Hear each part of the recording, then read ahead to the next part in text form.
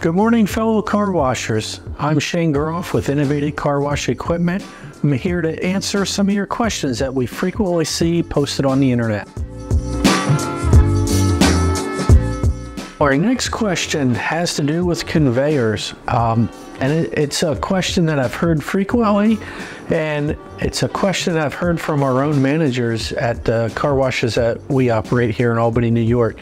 And it is my chain has popped off the drive sprocket when a customer isn't neutral or hit the brake or drove forward. So basically what happens is whether you have a spring or an air cylinder or air over oil, keeping that's pushing back on the entrance to keep your chain nice and tight.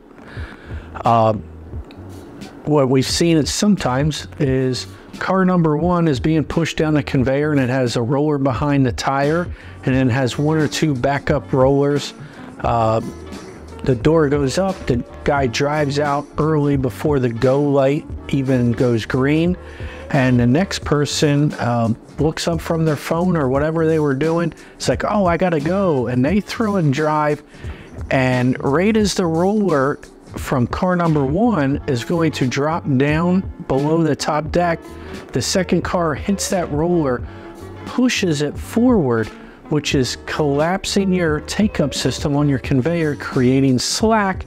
And of course, once you have that slack in there, chain can just your sprocket's going so fast, chain just pops right off. That's a co common problem nowadays, uh, much more so than years past because people are doing stuff in the car and, and they just happen to look up, they see the doors open and they they just assume, oh, I gotta drive, you know, and, and they drive.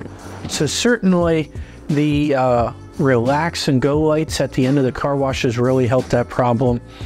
Uh, if you have a, an air take up on your conveyor, there's a couple things you can do. So that, that piston inside that air cylinder has to be able to work out and in.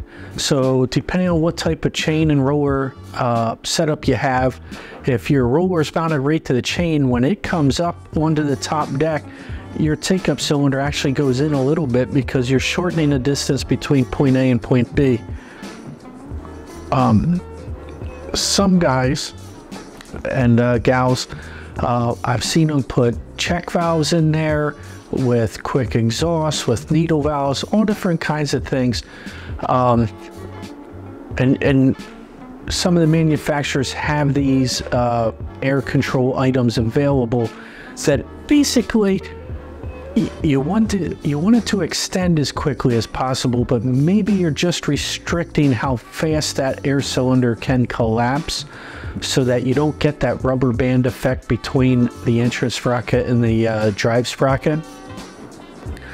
Uh, if a person is just sitting in the waiting area in the loading area and they did not put it in neutral, they have their foot on the brake and a roller is going under the tires, definitely uh, the chain should not pop off there. Um, you know, a few items you always want to look at when working with uh, conveyor systems with chains and sprockets. Make sure the entrance and exit are lined up properly, not off, not not cocked one way or the other, that they're in a straight line. When uh, if you're running a tooth sprocket on both ends, I highly recommend if you replace one end, replace the other sprocket too.